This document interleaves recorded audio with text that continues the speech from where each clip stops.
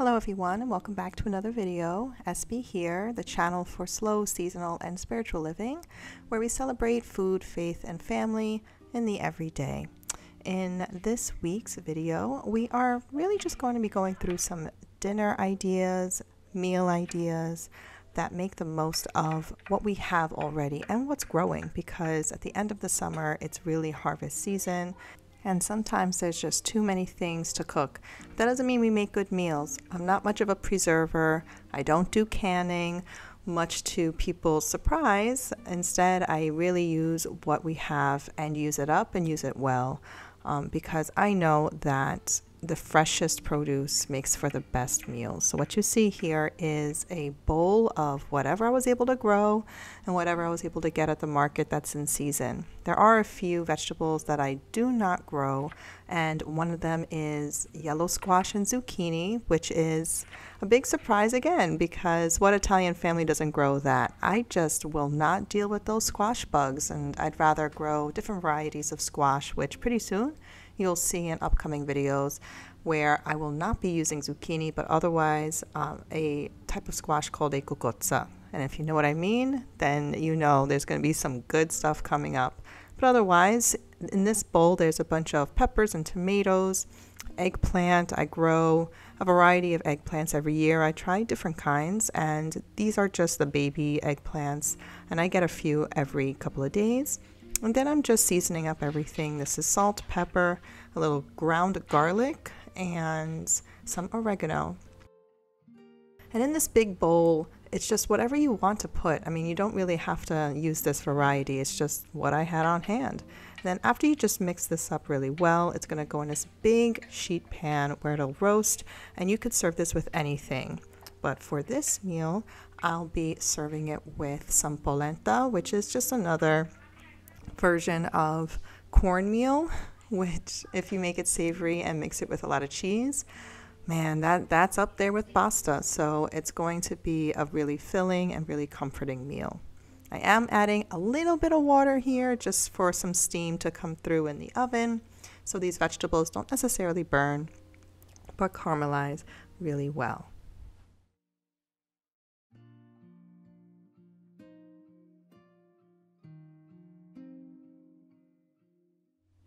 So for this polenta, I'll show you how to make it from just regular cornmeal.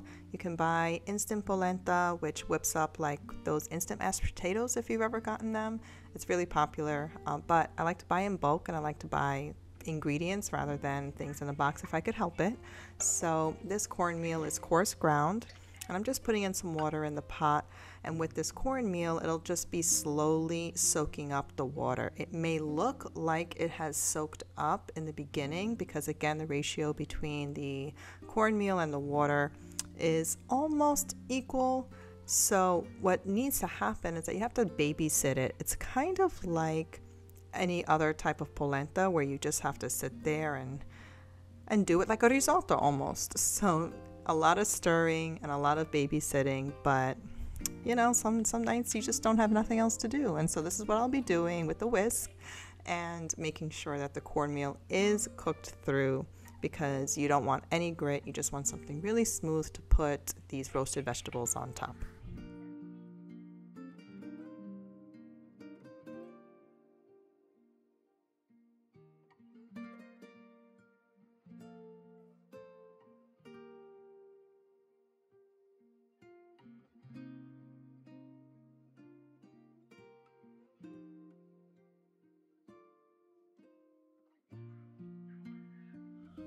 So lots of butter and lots of cheese in here. That's what's going to flavor this polenta. When you think about the content of this meal, if you just add this with the vegetables itself, you'd be surprised how filling it is. Uh, this is a great meal you could put on the table for Fridays, any fasting days, especially during Lent or Ember Days. There's a few Ember Days coming up in September, and this is one of those meals that celebrate the harvest without necessarily having to serve meat on the table. So I highly suggest you make a meal like this and it'll stick to your ribs without weighing you down.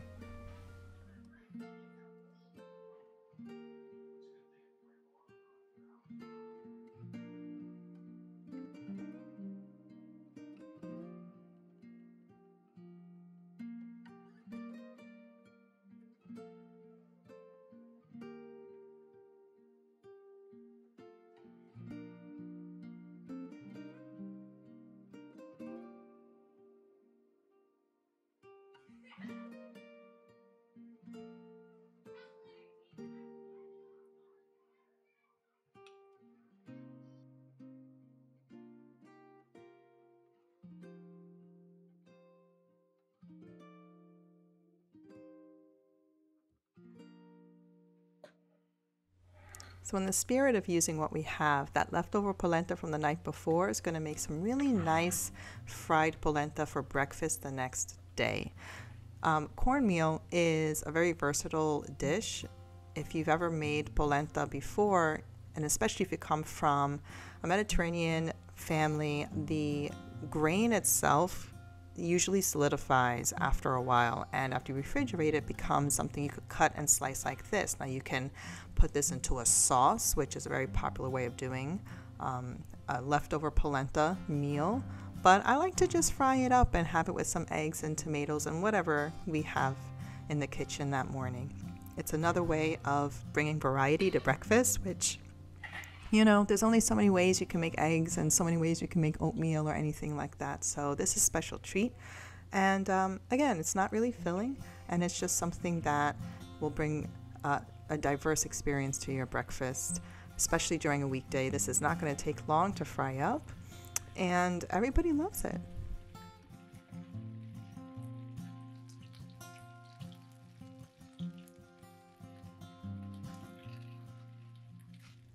Now, depending on the density of the polenta, you just have to be really gentle here because sometimes flipping it too much, it's going to crumble.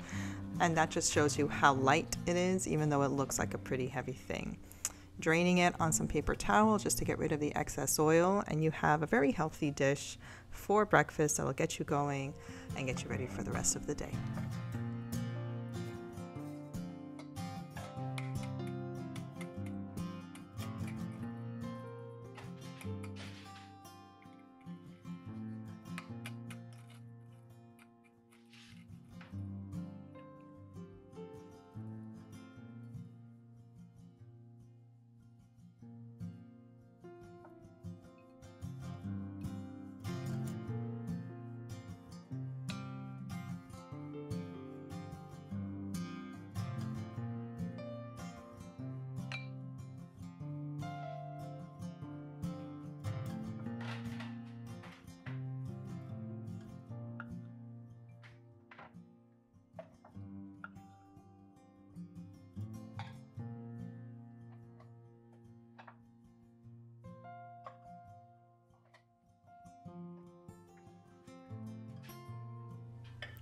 So, towards the end of the summer, again, there's a lot of harvest, and one of the vegetables that is seeming to get on its last legs is green beans. I do keep them in the freezer over the summer, and now I'm just using up the last batch before I put in new seeds in the ground for the fall.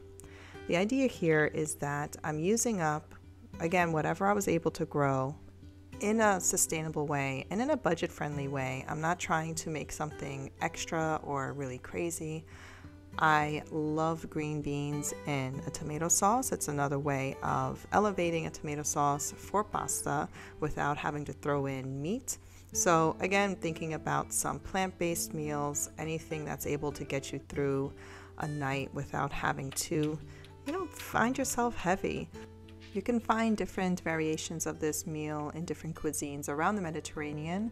If you venture into Turkey or Egypt or anything on the eastern side of the Mediterranean, you'll find these green beans with these stewed tomatoes uh, served with eggs or served with other vegetables like beans.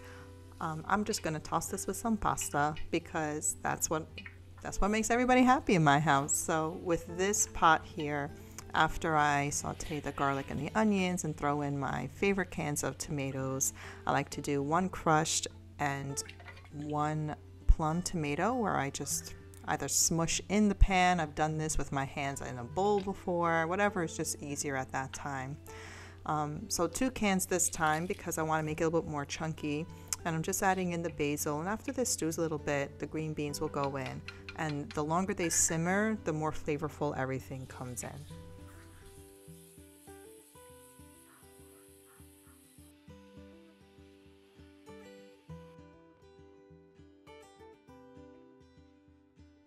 So while I put this together, I just want to emphasize here that these meals usually don't take more than a few ingredients thrown together. And when you think about the time of year, especially in the liturgical calendar where we're in with ordinary time, where we're kind of just in this moment of simple cadence and just awaiting further celebration. Uh, these meals really symbolize that simplicity is a celebration enough. You don't really need a lot to make the people around your table happy, to make your belly happy, make your heart happy. And ordinary time is, it, to me, it just it's just that. It's a way of kind of turning inward a little bit, whereas so much of our um, life in other seasons of the year is turned outward. And it's a way of just understanding that you don't need much to celebrate if you have everything that you need at home, because that in of itself is probably the purest form of celebration there is. These weekly dinners, or rather nightly dinners, that are just one pot or one big dish, like you see here on my mom's big platter dish. Um, it's it really doesn't take a lot to again make yourself happy, make your family happy, and that is the true essence of what ordinary time is about.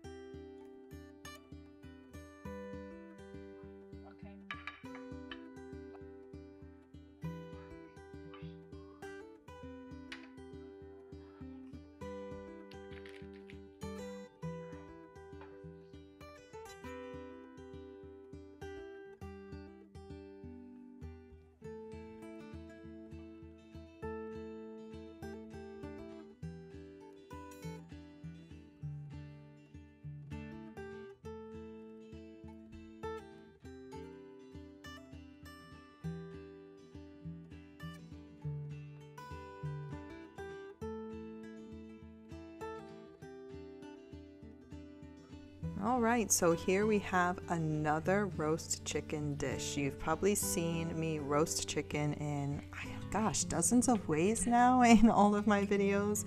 And it's usually the same. It's my thighs, my chicken thighs, which I love with the bone in. Um, boneless chicken thighs are, are pretty good for, I want to say, more savory, saucy type dishes. But if you're just roasting them in the oven, the bone is everything. And um, while I season this up with my regular um, salt and pepper. I like to do something slightly different every time I make roast chicken. Otherwise, it's the same thing all the time, right? So we have here um, a tangerine or an orange, whatever I had in the in the fridge, and I'm just squeezing it and allowing the orange juice to kind of substitute for what I would otherwise put lemon juice. And I'm just experimenting here. I don't know at this time how it was going to come out, but I'll tell you, when we ate it, it was pretty good. Um, and it's just another flavor profile and again, just you don't really need to be sticking to a recipe or trying to be really organized and following a to do list. Just use what you enjoy. We love paprika, so that's going in. We've loved adobo, that was already in beforehand, and it's just bringing ingredients together that, that make your heart happy. And with this chicken, we're going to do some sweet potato fries which again everybody loves healthier version of regular french fries. Um, get that beta carotene get that rainbow in there. Um, and i'm just leaving the skin on as well because some of us enjoy the skin and if you don't just easily peel it off. I do make it thicker than usual just to have more bite. And also it fits in the pan a little bit better. So it is um, again a simple dish and just another way of making roast chicken in a new and different way, even if it's just one ingredient that's different.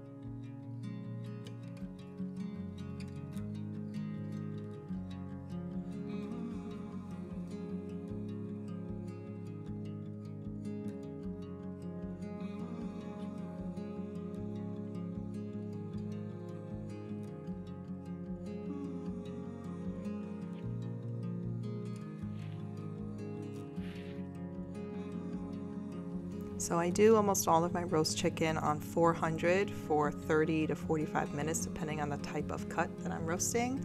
But if you see here, all those onion pieces and a little garlic in there and all that oil, uh, don't hate on the oil. That's actually going to be uh, really savory when you serve it. You could just drizzle it all over, and you could also keep it for um, kind of like a reserved fat, if you will. Um, the onions and the garlic also flavors the oil itself, so definitely keep it if you have um, an inclination of using it again in other dishes. Otherwise, to combat that oiliness, I always serve um, this type of chicken or any roast with fresh vegetables. And because we are Again, using what we have from that kitchen garden, it's these cherry tomatoes and these cucumbers. I am trying to grow another set of cucumbers this fall. I've heard you can do that, especially if you're in a mild area, which in the past few years my area has been. Thank you, climate change. Um, so, with this meal, this simple salad here is just going to round everything out and provide some brightness where there is a lot of depth in the chicken dish already.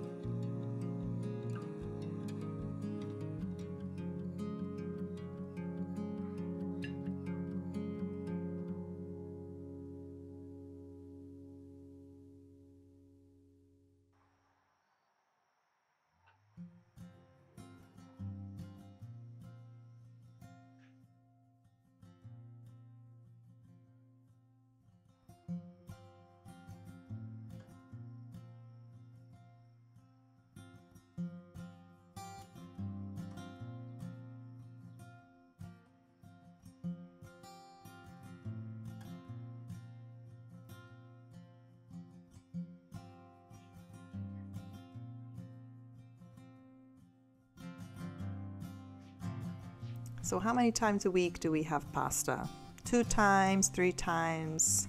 We've had four times. It really is not as bad as what people think. It's about portions. Please, people, it's about portions, um, but it's also about what you serve with it. So, all of that roast chicken that I had um, the day before, I think at this point it was two days before, I was able to reserve, and I knew that I wanted to combine it with a creamier sauce um, for another pasta dish. So here I am just cutting up the roast chicken so you get two meals for one after all of that big uh, preparation that I did that day. And while I am shredding this up, I'm thinking about the sauce. So the sauce here is not going to be a tomato sauce, even though it would work. But I'm going to venture out of my usual and make a simple Alfredo sauce.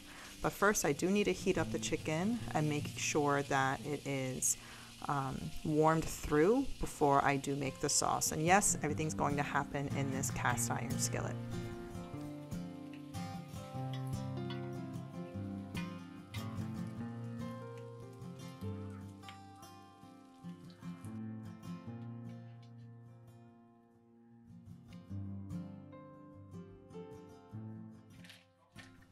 So for the Alfredo sauce, it's about a lot of butter and slowly warming it through until it gets that bubbly brown in the skillet.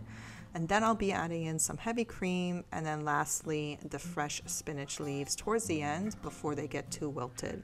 So using butter is something that I'm not necessarily used to. I tend to use more olive oil than anything else. So keeping an eye on this butter before it burns is, is a big task for me.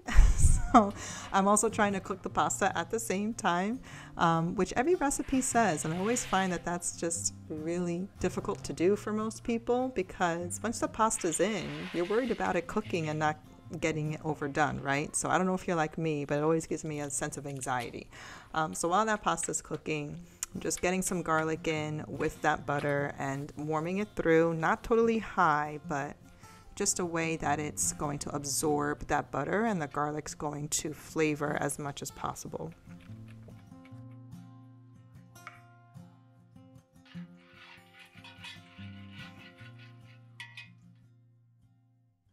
So heavy cream isn't something I buy on the usual, so when I do buy it, I know it's because I'm using it for a particular dish. Um, so with this big box of heavy cream, I've used it for some whipped cream for a cake I made the other day, and I'm just using the leftovers for this sauce. So after flavoring it, I added some chili peppers, I added some um, garlic pow- powder as well, salt and pepper. So here's the spinach. It's going right in. The chicken's going to go in here, which you know, not really a purely Italian thing to mix the meat with the pasta, but with three kids and a hungry husband, putting everything in one dish is really the way to go. so, um, after I toss everything here in this really creamy sauce, I'm, I am going to add some of the pieces of the chicken right on the side of the bowl, and that's going to be dinner for everybody else.